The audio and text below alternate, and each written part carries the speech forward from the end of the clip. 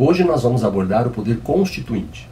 Nos estados que adotam uma constituição do tipo rígida, há uma nítida distinção entre o processo legislativo de elaboração de normas constitucionais e o processo legislativo de elaboração de, das demais normas do ordenamento jurídico. Nesses estados, nós identificamos duas categorias de legisladores. Primeiro, o legislador constituinte, com competência para elaborar normas constitucionais, e o legislador ordinário, com competência para elaborar as normas infraconstitucionais do ordenamento. O poder constituinte é aquele exercido pelo primeiro dos legisladores mencionados, ou seja, é o poder de elaborar e modificar normas constitucionais. É assim o poder de estabelecer a constituição de um Estado ou de modificar a constituição já existente por meio das chamadas emendas. A teoria do poder constituinte, ela foi inicialmente esboçada por um abade francês chamado Emmanuel Sieyès, alguns meses antes da Revolução Francesa na sua obra Qu'est-ce que c'est ou seja, o que é o terceiro estado? E ele se inspirou nas ideias iluministas da época, no século XVIII, e foi aperfeiçoada né, essa teoria pelos constitucionalistas franceses posteriores, com destaque aí, por exemplo, a Carré de Marbeck, que incorporou a ela a ideia de soberania popular que já tinha sido preconizada por Rousseau. O ponto fundamental dessa teoria, que explica a afirmação de que ela somente se aplica a estados que adotam uma constituição escrita e rígida e faz com que ela alicerce o princípio da supremacia constitucional, é a distinção entre poder constituinte e poderes constituídos. O poder constituinte é o poder que cria a Constituição. Os poderes constituídos são o resultado dessa criação, isto é, são os poderes estabelecidos pela Constituição. Com relação à titularidade, a teoria do poder constituinte está relacionada com a legitimidade do poder, com a soberania nacional e a soberania popular de um determinado Estado.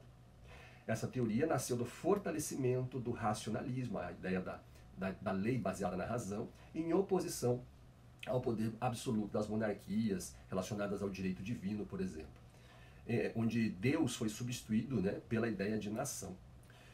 Contemporaneamente, porém, o entendimento é de que o titular do poder constituinte é o povo e não mais a nação, pois só este, o povo, tem legitimidade para determinar quando e como deve ser elaborada uma nova constituição ou modificada a já existente. A soberania popular, que é, na essência, o poder constituinte do povo, é a fonte única de onde procedem todos os poderes públicos do Estado. Mesmo nos regimes ditatoriais, é o povo o único e legítimo titular do poder constituinte. O que se dá nesse caso, conforme será explicado mais à frente, em, uma, em outro vídeo, é a usurpação desse poder por parte do ditador. Com relação às formas de exercício, o poder constituinte originário ele pode se manifestar na criação de um novo Estado, por exemplo, né, como aconteceu com a desintegração do Império Otomano, da própria União Soviética, da ex-Yugoslávia, e deram origem a vários novos estados ou a refundação de um Estado com a constituição, com a substituição de uma constituição por outra também como acontece no caso de um golpe, de uma revolução, uma desagregação social, ou mesmo, se assim desejar o povo, em períodos de normalidade social. No primeiro caso, criação de um Estado, temos o denominado poder constituinte histórico e nos demais o poder constituinte revolucionário.